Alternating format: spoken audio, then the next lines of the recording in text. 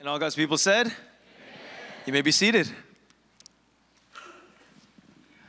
Okay, so today we have a wonderful guest speaker who comes all the way from the nation of Kentucky. And she has come and joined us a part of this essential conference that we hosted here on Friday and Saturday. This conference impacted women across our denomination here in Foursquare and invited multiple churches to come and be filled uh, by what God is sharing.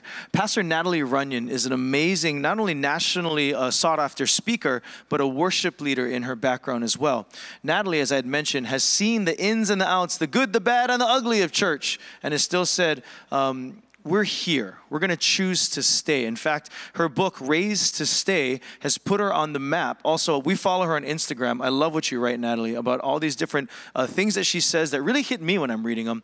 Her second book uh, that has been coming out, uh, The House That Jesus Built, hasn't been released yet, and it's already a bestseller on Amazon. To give you an idea of the, the upcoming uh, people excitement about what Natalie is sharing. So we're excited to host Pastor Natalie. Uh, she shared this past weekend at the conference. My wife, Kara, uh, whose birthday was yesterday, chose to spend her birthday at the conference because she loved what was being shared, not only from Pastor Natalie and the worship, but what was being ministered to. So that's how excited I am that I'm introducing Natalie to us as a church. So she brings in a fresh perspective, an awesome outfit, and a heart for Jesus. So put your hands together, give a warm Metro welcome. Pastor Natalie Runion.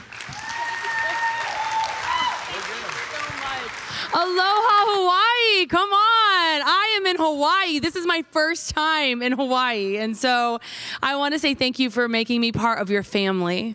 Um, I have been here since Sunday, which is why I have this rocking tan. Um, I believe that I'm part of the island now. And so last night they gave me a crown of flowers to wear when I was preaching. And so now I'm going to tell everybody on the mainland that I will only come to their church if they give me a crown of flowers uh, when I'm preaching. So you've ruined me. Thank you for spoiling me. Thank you for having me. Thank you, Pastor Brandon. I, again, I understand as a pastor's kid the weight of inviting someone you've never met in person to, say, to stand at your pulpit. It's a huge weight and a huge responsibility. So thank you for trusting me. I love your people already. You guys have been such a gift and a light to me. A lot of people will ask what it's like to travel and to speak, and the truth is is that I only do this because of you. I only do this because I get to hug you and I get to share in your life and even if we only have this one conversation, we're woven into family now because that's just how the family of God is.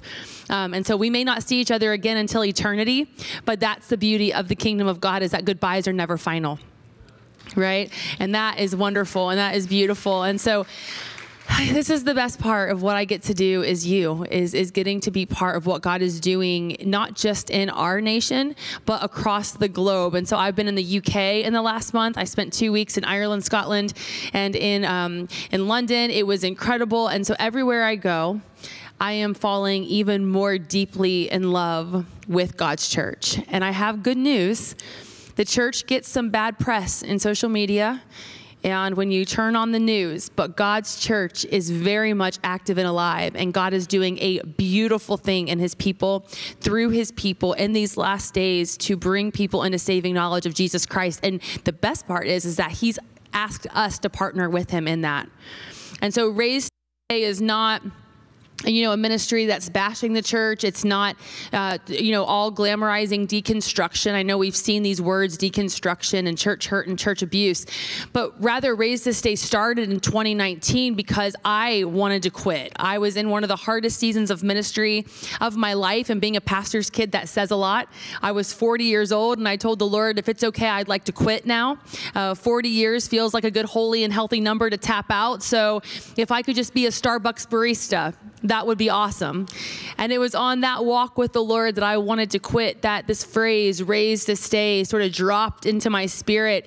And as I began to pray into that, he took me to John 15, talking about how we have been called to abide in him that when we abide in him not just stay in a church but stay with jesus remain in him he will remain with us and as a product of that we will produce good fruits And so, even when the church hurts us, even when people let us down, if we can stay committed to just holding on to Jesus, that even when the winds of deconstruction and hurt and all these things that come at us, like that tree planted by the water, we won't be able to be moved. And, and that's what I'm seeing when I look out at the church as a bunch of broken people who have somehow decided I'm not going to let the enemy have this fight. I'm not going to let him win.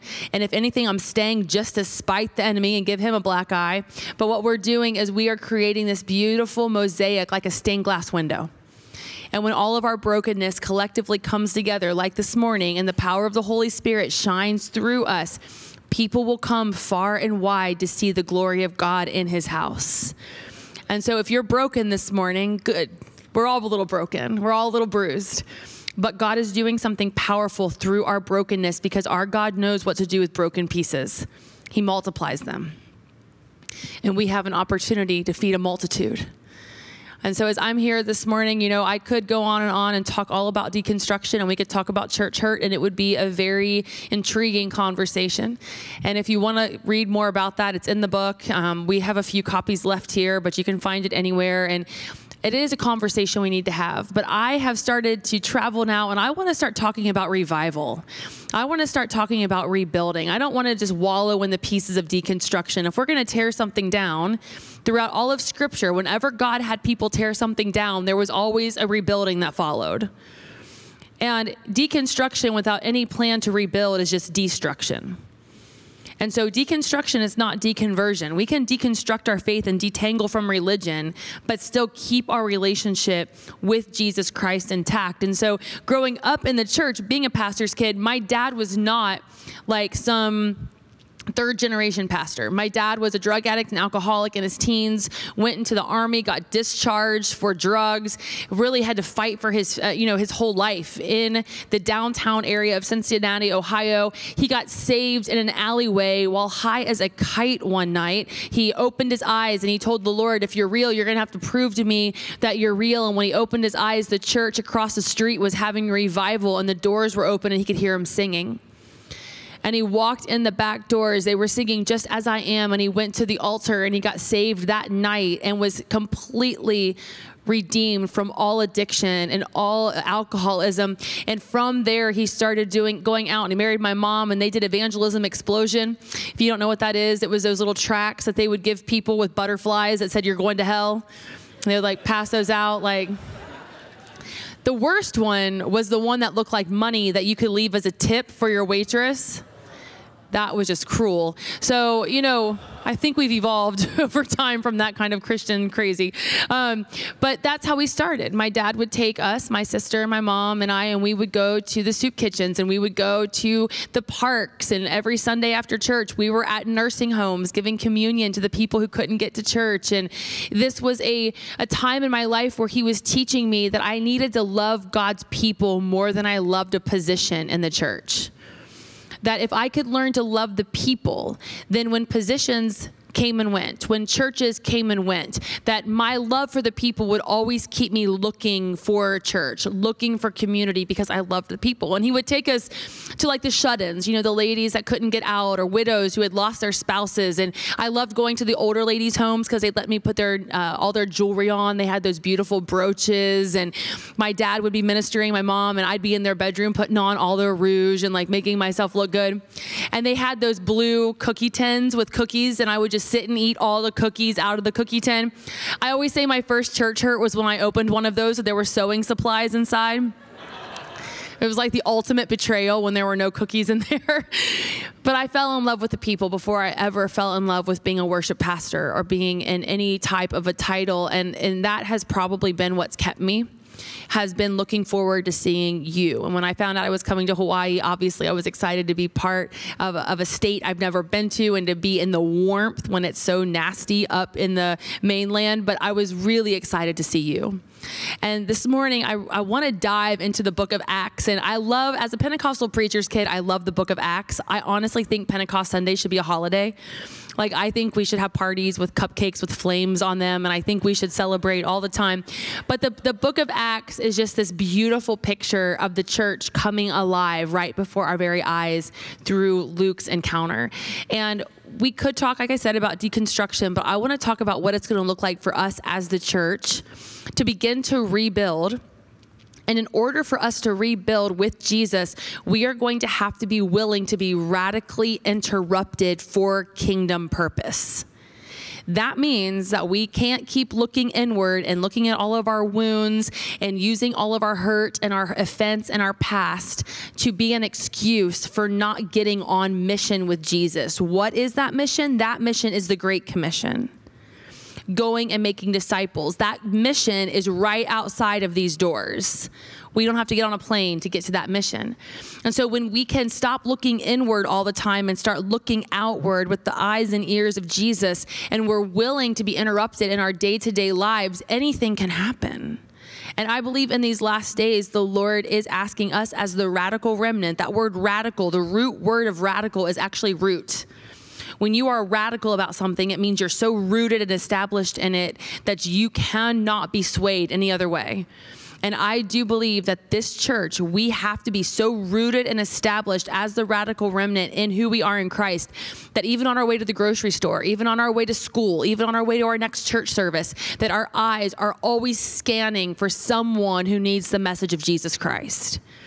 That is when Jesus is going to come back is when every ear has heard the gospel and we have to get on mission, honestly, so we can just get out of here, right? So if everybody could just start telling people about Jesus, then we don't have to stay here any longer than we need to be here.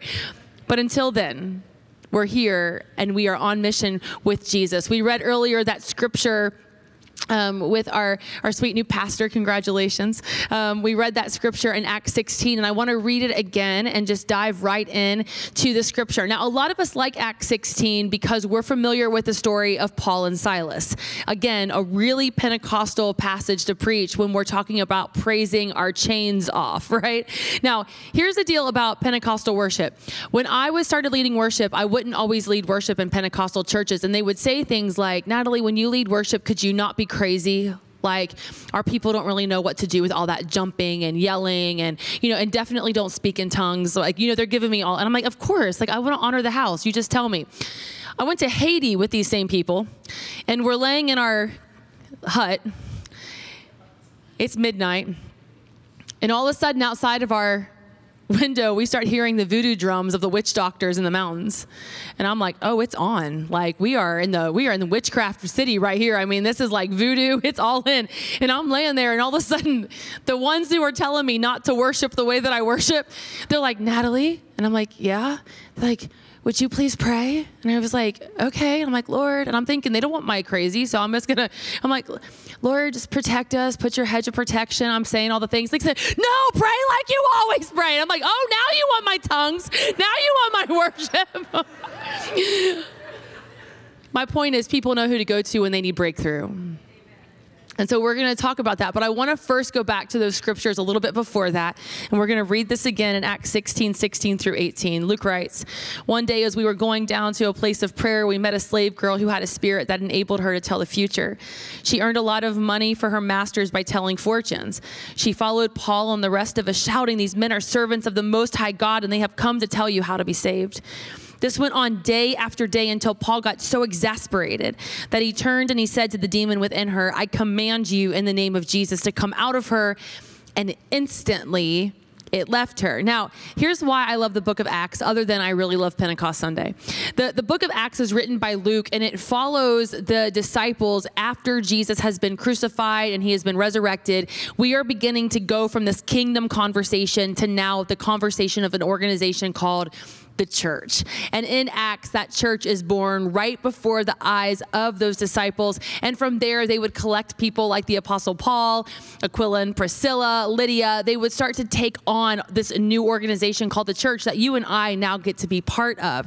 When we look in the book of Acts, we see Peter in the beginning of his missionary journey, and then we go at the end of the book with Paul up until he is martyred. Now, in the scriptures just before, these guys encounter this young girl. Paul, Luke, Timothy, and Silas, they find themselves at the house of Lydia, a woman known to be a merchant of expensive purple cloth. Lydia was actually the very first convert that we see in the scriptures. Luke records in Acts 16 15 that as she, Lydia, listened to us, that the Lord opened her heart and she accepted what Paul was saying. She and her household were baptized and she asked us to be her guest. If you agree that I am a true believer in the Lord, she said, come and stay at my home. And she urged us until we agreed. Now, you have to assume that the apostles are on a pretty big high right now, right? They have been given this mandate to go preach the gospel. They've been given this instruction by Jesus as he ascended before them that they're to take the gospel to the far ends of the earth. And they're finally on this mission, going to these prayer meetings. They encounter a woman named Lydia. They tell her about Jesus, just like Jesus told them to do. And she says, Yes. Now, if you've ever led somebody to Jesus, you know this is like the ultimate experience, right? When you've led somebody to the Lord, you're like, I want to do this every day. I want to do it all day. My point is, if you're bored as a Christian, you're doing it wrong. Because when you start to tell people about Jesus, if you want to be addicted to something, that's the best thing to be addicted to because you can't stop once you start. So these guys, they leave the house of Lydia. They're like, Did you see that? Oh my goodness, this actually works. This kingdom thing actually works. We told her not only did she get saved, but her whole household get saved. And the scriptures tell us that they're moving on to the next prayer meeting. I am a product of revival culture revivals all the time. Every time the doors were open, I was in church. And so it was week to week. We are just getting service to service, prayer meeting to prayer meeting. And this is what's happening. These guys are going prayer meeting to prayer meeting, riding this spiritual high. But then Luke tells us of a radical interruption. He writes, One day as we were going down to the place of prayer, we met a slave girl who had a spirit that enabled her to tell the future. Now, how many know in this room? That you could be on your way to a baby shower.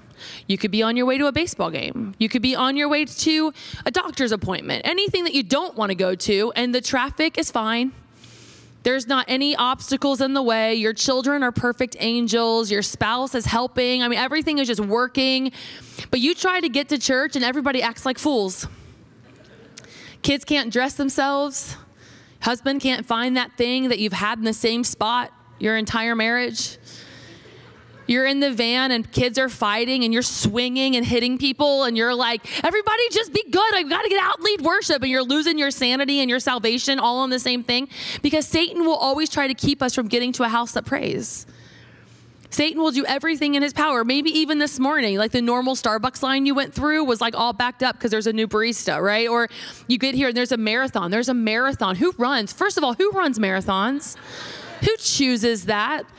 We had to take the back roads to get here because there was a marathon, right? Satan will always try to stop a group of people who are trying to get to worship Jesus. He is not going to just get out of our way and let us do that. He will always try to attack a house that prays. And this is what happens.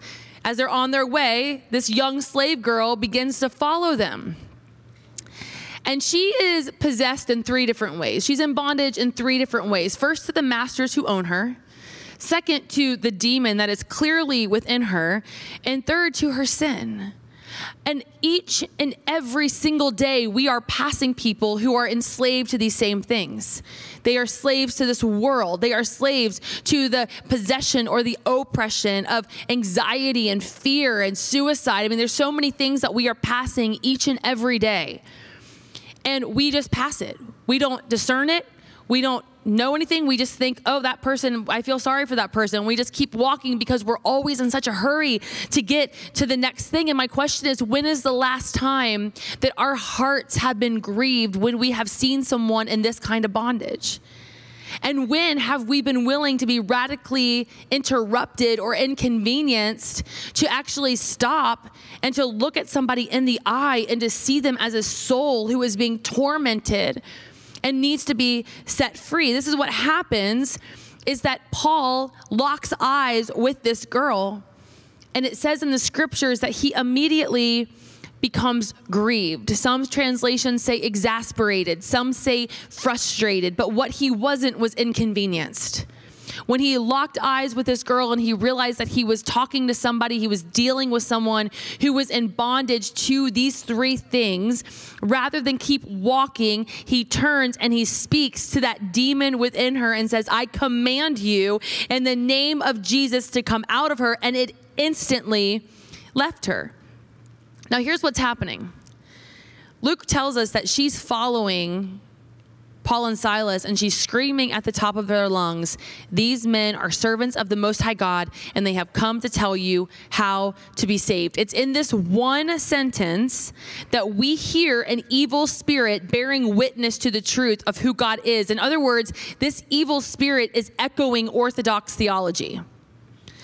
That is terrifying in the flesh because what that tells us is that the enemy knows how to speak truth when it behooves him which is why we have to be wise as serpents and gentle as doves when we are out in this world so that we're able to discern when it's the enemy lying to us in of the form of something that looks good or sounds good, or when we are actually in contact with the Holy Spirit and operating in the power that we have been given. And so, Paul, in this moment, is having to discern what am I discerning? But here's the problem Paul and Silas should have never been where they were.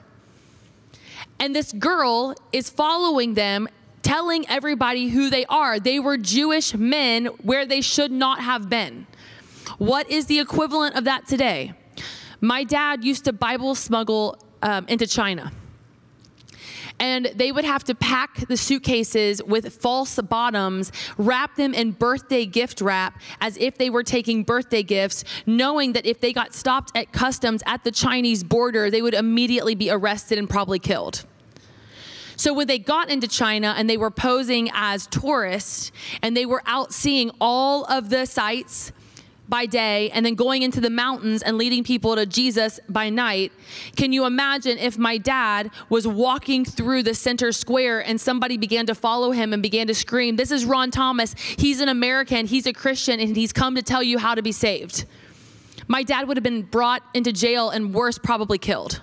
That's what's happening to Paul and Silas right now. This girl is giving away their identity. And it would have made perfect sense for Paul and Silas to be like, we got to get out of here we can't stay here. Like, we can't stay here. If we stay here, we're going to get thrown in prison or worse, we're going to be killed. And it would have made sense for them to not allow that interruption to stop their day and just to get to the next town where they'd be safe. But it says that Paul was so grieved at the sight of seeing someone else in this kind of bondage that he turns and he speaks with the authority that he has and he tells that enemy that he can't stay there. Paul didn't have to Google how to cast out a demon. Paul didn't have to phone a friend and be like, listen, Pastor, I got a demon here. I do not know what to do with this. Paul wasn't afraid. He knew, based off of what he knew about Jesus from the disciples, he knew what he knew about Jesus based off what he knew about the scriptures to know that when he spoke to that evil spirit, that at the name of Jesus, it had to go. And so he activated that authority and he said, I command you in the name of Jesus to leave her. And in instantly it left her. Spurgeon says that, like his Lord, Paul would not allow the devil to testify concerning himself and his mission. We all have to become so angry at the right enemy that we will not allow the enemy to speak on our behalf. We will not give the enemy a voice in our ministries. We will not give him a voice in our families. And when he comes and he attacks, we don't have to Google, how do I handle this? We say, Devil, you don't belong in my house. You got to get out in the name of Jesus. You don't belong in my family. You got to get out in the name of Jesus. You don't belong in my child. You got to get out in the name of Jesus. And we speak with the authority that we have been given. Now, here's the deal the masters are now mad because the girl who was making them all of this money has now been set free. She's no longer under their control, no longer under that oppression. And so they grab Paul and Silas and they drag them into the square and they say, This whole city is in an uproar because of these Jews. They are teaching customs that are illegal for us Romans to practice. And because Paul and Silas were Jewish, they were immediately taken, beaten, and thrown into jail with a guard to keep watch over them. Now, this may have shocked some people. If this would have happened to anybody else, they may have been like, We didn't know, we didn't see this coming. But Jesus had been training the disciples from day one that the very thing that would probably put him on a cross would most likely put them on a cross. And as I was spending time in Matthew, I love how gentle Jesus is and how prophetic he was to speak over the disciples and say, Listen, if you choose to pick up your cross and follow me, it's going to get hard.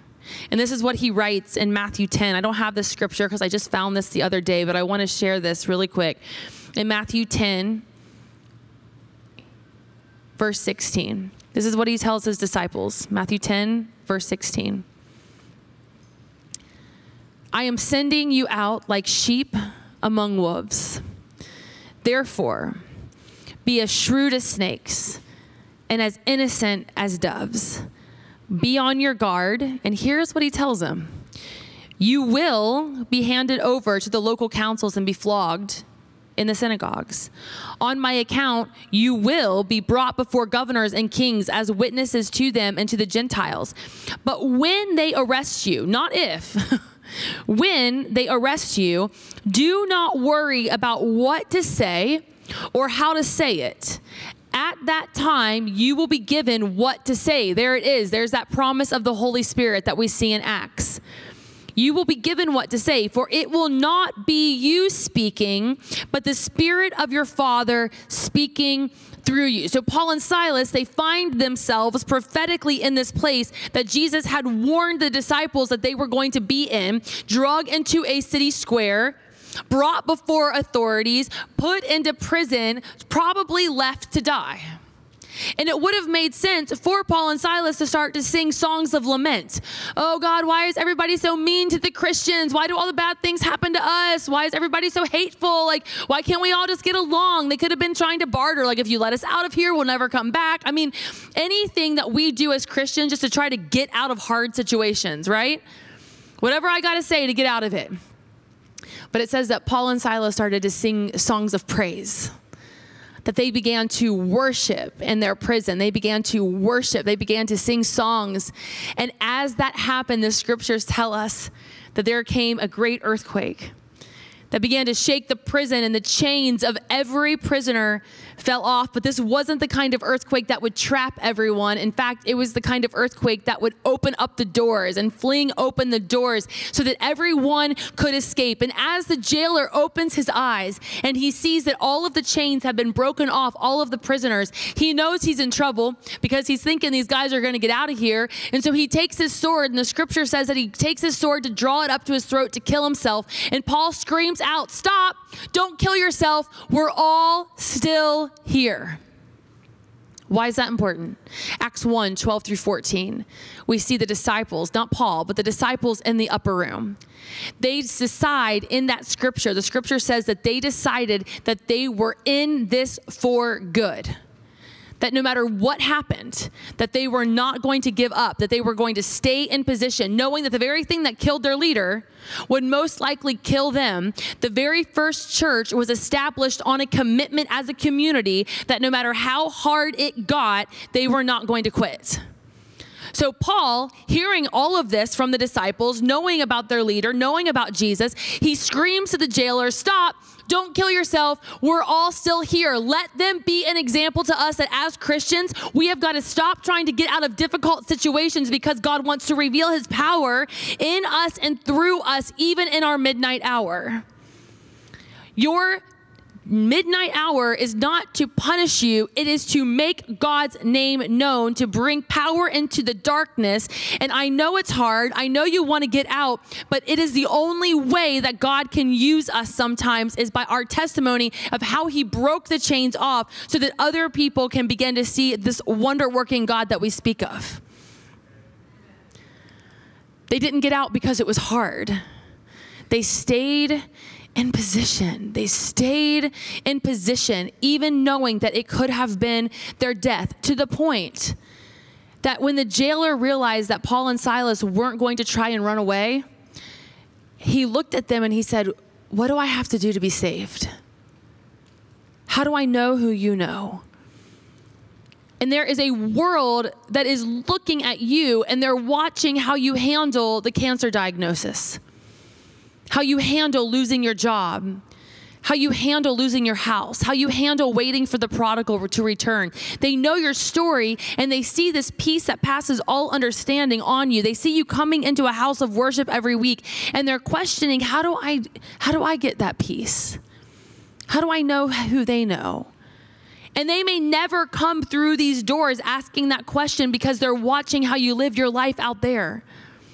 They're watching how you handle the prison. They're watching how you're handling your midnight hour because they want to know how you have that peace that passes all understanding, that transcends any type of common sense in this world. And that is why we can't get up just because it's hard. We can't quit just because it's hard because we have people watching us that God has entrusted to us to make his name known. We think about Shadrach, Meshach, and Abednego. They didn't have a choice, they were thrown in the fire. But there was a fourth man in that fire who was going to make his name and power known. We have Daniel in the lion's den and Moses before the raging sea, Esther extending her scepter before the king, Jesus, who stayed on the cross. Scorning its guilt, scorning its shame for the joy set before him, that though he could have called 10,000 angels down to reveal his true identity and be like, See, I told you I was who I said I was, he didn't. He remained in position, knowing that the very thing that was going to be his crucifixion was just the beginning of a resurrection. What you think is your crucifixion right now is the beginning of a resurrection. Do not get up. Because what is coming three days later is going to reveal the true power of our God, and this world has to see it. It has to see it. We don't get to escape hard things just because we're Christians. In fact, because we're Christians, we will face hard things. But Jesus says, Take heart. I have come to overcome the world. Satan doesn't win. When I look at the scriptures and I see all of this, you know, I, love Paul and Silas because they stayed, but they also did four things, both in the house of Lydia and in the house of the jailer, that you and I can do in the church now. The house of Lydia was saved. Not only was the jailer saved, later in the scriptures we find out that it was the jailer and his entire household were saved and baptized. The first thing that they did is they delivered the word of God. But we have to know the word of God to speak the word of God. I said earlier, Paul didn't have to Google how to cast out a demon right? When somebody comes to us and they tell us they're going through something, we shouldn't have to be like, hold on, let me Google a scripture about peace. Let me Google a scripture about you know, love. Let me Google a scripture about comfort. We should be able to pull that word up out of our hearts and begin to quote scripture and prophesy scripture over people who are going through a hard time. We shouldn't have to look it up all the time. It should be so planted inside of us that when we open our mouths, the word of God is the first thing that comes out of us so that we're not for a loss of words when people are looking for hope. To be able to look at someone and say, you know what? I know you've been having a hard time sleeping at night, but I'm going to pray that tonight you lay down and that you will know that the Lord sustains you, that you don't have to fear the tens of thousands drawn up on every side because you're going to wake up because God's mercies are new every day. We need to be able to just quote that scripture right off the tip of our tongue. That is what Paul and Silas did. They began to quote the word of God, they began to bring out the scriptures. They knew how to look at the enemy and tell him where he could go. Second thing that they did is they served. Never underestimate the power of serving the church. Never, never underestimate the power of taking a meal to somebody out on the street. Never underestimate paying for somebody's groceries at the grocery store. When we show up and we are the hands and feet of Jesus, people pay attention. It's so countercultural to be willing to be inconvenienced to start the you know pay it forward line at chick-fil-a when you're paying for everybody's meal behind you I love being part of those. Don't be the breaker. Don't be the chain breaker. That's like the worst part. You got to keep paying that forward. Those are little things like that that just make people realize maybe I'm not alone. Maybe somebody sees me. The third thing they did is they baptized. You guys are going to be baptizing soon. Guess what? You don't have to be in a church service to baptize people. I used to swim in the baptistry. We had a baptistry in our church, and I lived in the church parsonage. I'd go over and swim in it. I used to baptize my friends all the time. My dad was baptizing Chinese people up in the mountains in a bathtub, 300 Chinese people in a bathtub at 3 a.m. I was just in Florida not long ago, and we were out on the water, and it was packed. It was packed. This we were. I was at a church, and the the pastor took us out on his boat, and there were boats everywhere. And out of the corner of my eye, I see this old rickety fisherman's boat pull up onto the, the shore and these two really tan, weathered men get out. And, and I'm watching them and I can't really tell what they're doing, but I just noticed that they got out and they got about waist deep in the water. And I see the one man holding the shoulders of the other man and he's talking to him. And you can see all the boats kind of slowing down to, to look. And I told the pastor, I said, slow down. I want to see what's going to happen. And before I knew it, I saw the, the man place his hand over the man's nose and then he dunked him under and he brought him up. And you didn't have to be a Christian on that water to feel the ripple effect of what was happening in the spirit. And all of the boats started to honk their horns and people started cheering. They didn't even know what they were seeing, they just knew it was holy. You know, and that man, he turned around and he realized that he had witnesses of what had just happened. And not only was heaven celebrating this death to new life, but now this whole people, group of people on these boats. And he lifted his hands up over his head, and both of the men just started cheering because some fisherman was willing to be inconvenienced in his afternoon on his Saturday to take his friend to the water and baptize him in the Gulf of Mexico.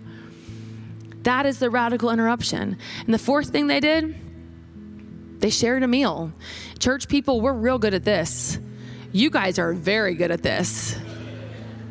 I've eaten more fruit on this trip than I have ever eaten in my life, and I am leaving here so full spiritually and physically. when you don't know what to do, invite somebody to your house for coffee. Make them the best breakfast they've ever had and ask them to tell you their story. And from there, you'll find out everything you need to know. Listening is a beautiful ministry. You have no idea just by sharing a meal what you'll find out about somebody. As we close up this morning, you know, I know it's not a typical raised to stay talk to talk about church hurt, but I'm so tired of wallowing around in old wounds. At some point, we have to ask ourselves what Jesus was asking throughout the scriptures do you even want to be healed? Do you want to step into the authority that you have, or do you want to keep being a victim? Because we have not been called to be victims of Christ, we have been called to be overcomers in Christ. And the healing is for all of us. It's not just for some of us, healing is for all of us. And I know some of us, we're sitting in a midnight hour right now, and that's not your fault. Maybe it is. Maybe your decisions put you there. But sometimes life just happens. But God is good and He's faithful. He sits with us in those spaces. And part of being in a church community like you are is that you have people that are willing to sit with you in that dark space and not let you go to your chemo treatments alone, not let you walk through the death of a parent or a spouse alone. There are people in this church who are willing to sit with you in that midnight hour, and you too will be given the opportunity to sit with people in their midnight hour. But we have to be willing to stop looking inward, start looking outward, seeing who God has placed in front of us, even when we're in our own chains. And as we are worshiping our chains off, show people what it looks like to stay and let God show his power in our lives. Let's all stand up together this morning. We're going to close out here. You know, I, I, realize in a group this size that there are people who probably do have some church hurt, probably do have even some church abuse in your life. You've been let down by a shepherd, you've been let down by people, and church disappointment is just as painful as anything. Trust me, I've lived it. But God is so good and He's so kind, and He will restore what the enemy tries to steal. I also know that there's probably some of you in here and you're in that season of being in your own prison and you're like, man, I would just like somebody to sit with me in the prison for a little bit. Like, I feel like I've always been the one sitting with people now I'm walking this thing out and I just want to know I'm not alone. And coming here this morning reminded me that I'm not. And, and that's true. You're never alone. Don't let the enemy lie to you. None of us have been told we have to do this by ourselves. That is why the family of God is so beautiful. And so, if, with every eye closed, if that's you this morning and you're like, I just want somebody to sit with me, I just, I just want to know that I have that power to sit in this hard space right now. I'm walking through a diagnosis. I'm walking through the loss of a spouse or a child or a parent. I, I've walked out some really difficult things, and I just need to know somebody is with me. If that's you, would you just raise your hand? Thank you, thank you, thank you. If it's okay, keep those hands up. If you're standing next to somebody who has their hand up, would you just put your hand on their back? There's a couple standing up right there. There we go. Just put, just grab a, just put your hand on their back. We have one right here, one right here. Come on, don't be weird. Go do it. There you go. Got some over here. Just put their hand on your back. There's one back here. This is the family of God, right? If you can't be inconvenienced to move a chair, how are you going to end up going into the prisons? you got to move a little bit. Find that hand. Yeah, there you go. It's outside of our comfort zones because, guys, we are private people, and I get it. But none of us have been called to do this by ourselves. So I'm going to pray uh, just a prayer of comfort and of team. We are a team, we are a family. And if you've been feeling like you've been orphaned or you've been left alone, I want to just remind you that your God will never leave you or forsake you. And your family, this church family, is here for you as well. You are in a safe house. Father, in the name of Jesus, we come together now as the family of God and we sit in the darkness with our brothers and sisters. I know it's hard. I know it's scary. I know it feels like the world is falling in around them, God, but you have promised that you never leave us and you never forsake us, and you have given us a family. You've adopted us as your sons and daughters with a good inheritance, a, a kingdom inheritance, God, that if you own the cattle on a thousand hills, what can't you give us, Father? You own everything. And so I pray that wherever there are needs that need to be met, God, that you would meet those according to your riches and glory. I pray where there needs to be healing, Lord, that you would come in and you would do the physical healing right now. We believe in healing. It's by faith we believe that we are healed in your name. Where there's mental healing and spiritual healing, God, I pray that you would bind up the wounds of, of church hurt and disappointment, Lord, and you would replace it with that balm of Gilead that just heals every infliction, Father. I pray where there's marriages that need restored and relationships with our children that need restored, God, that you would bring everybody home, Lord, that you would just open up opportunities for counseling and conversation, God, where the enemy is trying to tear down families. God, we, we ask for unity in the house, Father. And God, I pray for this house, Lord, that this would be a place where people can come and continue to find that hope that they're looking for. Lord, that you would strengthen the pastors, you would strengthen the staff, God, to be prepared for an end times outpouring of people that will come through these doors. what an honor and a privilege it is, Father, to partner with you in the midnight hour with your people. And it's in that mighty name of Jesus we pray. Amen. Amen. Would you say thanks to Natalie for sharing with us this morning?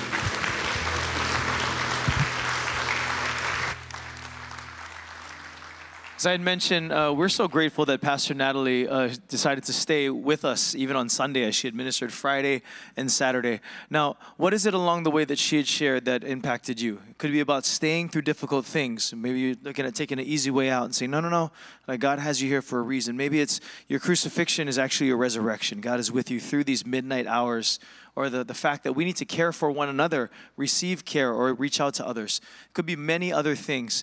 Uh, the bottom line is this hey, we hope that you take what was shared today and you put it into your life and choose to walk that out.